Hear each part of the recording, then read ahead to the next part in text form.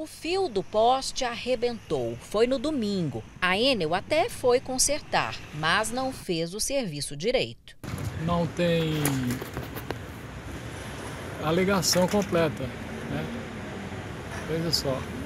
Tem uma aqui, outra está ligada e essa terceira também está desligada. Além de estar sem energia, a casa desse senhor agora também está sem água. Queimou a bomba, está trocando por uma novinha. 600 conto. No setor sul, o dono desta fábrica de salgados perdeu muita mercadoria e provavelmente não será ressarcido por isso. A Enel só repõe danos com aparelhos queimados. Olha aí como é que eu estou fazendo. No escuro, assim, ó, um por um. Neste pet shop, as vacinas já não servem mais e banho e tosa foram cancelados nesta segunda-feira. Nós tivemos o prejuízo de R$ 2.500 em vacinas, umas 100 doses que estavam estocados e o prejuízo de agendamentos de pets no valor dos R$ 2.000, valor diário aí. Toda esta galeria aqui no setor Bueno também está sem luz desde sábado, pouco depois daquela chuva da madrugada.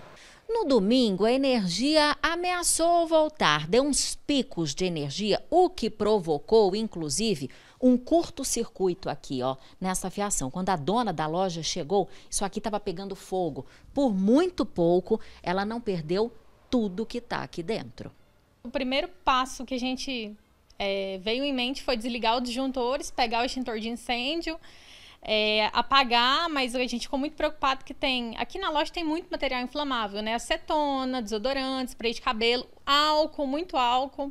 Então a gente ficou assim, desorientado. A gente está muito preocupado. Quem que vai arcar com o nosso prejuízo? Que a gente ainda não sabe o que, que realmente queimou, né? Ar-condicionado, é, computador, todo o nosso maquinário. Então a gente está muito preocupado, né?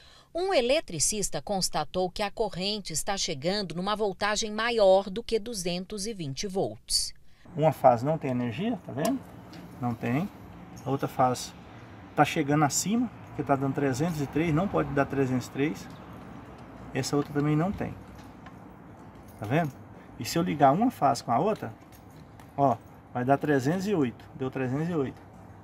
Se eu ligar uma fase com a outra, Deu 355 também. Então não está chegando energia no relógio. Algumas lojas estão fechadas, outros lojistas estão trabalhando mesmo no escuro.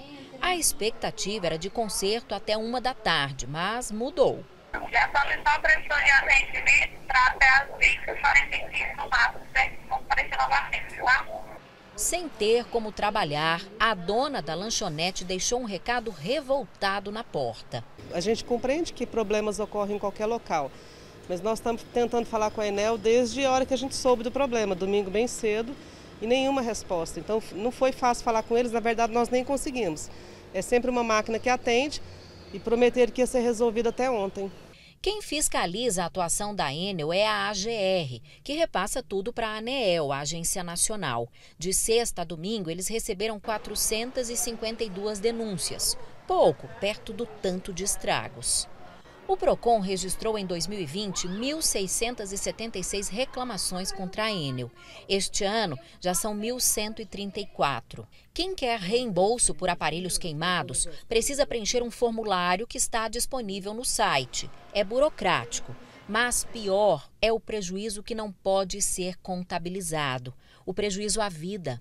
A criança precisa do aparelho, só tem 15%, mais de 24 horas sem energia certo? Aqui a criança na cama. E a bateria acabando.